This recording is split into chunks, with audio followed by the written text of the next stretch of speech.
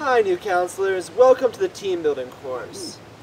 Before we get started, we're going to go over a few basic safety things you have to tell every camp that comes up. Well first of all, you introduce yourself like, Hi, I'm Mr. John. Then you go start going into your rules spiel. Basically, first you basically talk about how you need to be quiet at all times, please do not run, and to listen at all times.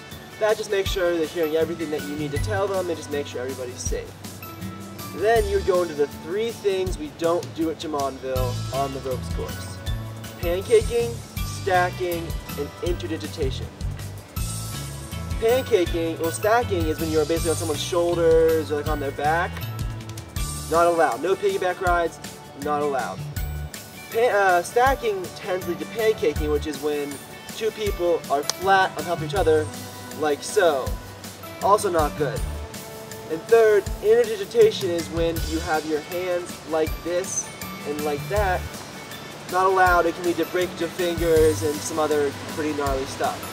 If they need to hold their hand somehow, they can go like this, this, or this.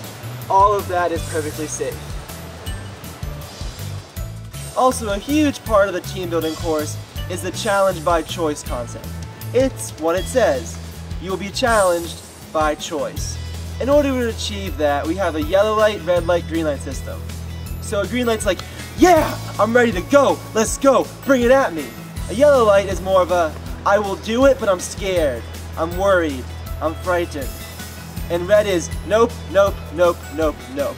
There is no way you are getting me on this obstacle. So, we want everyone to be yellow or green, obviously. Green is great, but honestly, yellow is where the most learning happens, so we want yellows to move to green, and that's where we see a lot of growth here.